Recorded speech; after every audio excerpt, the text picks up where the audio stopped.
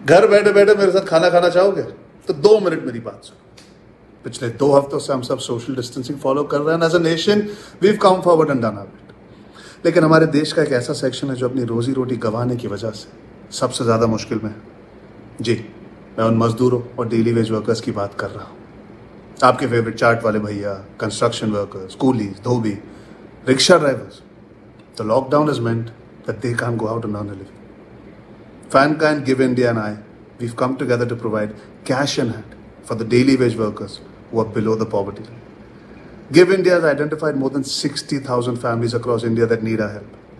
आपको क्या करना है? All you have to do is log on to fankind.org slash Arjun and donate.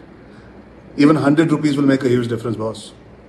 और आपके डोनेशन की पूरी रकम उन डेली वेज वर्कर्स के हाथों में जाएगी हाँ स्पेशल थैंक यू के लिए पाँच लकी लोगों को मेरे साथ वर्चुअली हैंग आउट करने का मौका मिलेगा और खाना खाने का मौका मिलेगा साथ में।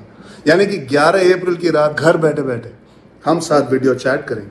I can be in your house chat get to know you laugh have a meal and have a good evening video link भेजूँगा और आप मेरे साथ होगे। So what you waiting for log into fankind.org slash arjun and let's come together to help those in